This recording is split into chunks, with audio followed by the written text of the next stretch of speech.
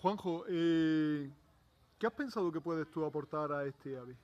Yo creo que puedo, puedo aportar a AVE el, el hecho de, de la importancia que tiene en la sociedad y en la vida de nuestros alumnos, pues la el cine y las películas o el lenguaje audiovisual que podemos, podemos usar y que se puede transmitir en la escuela.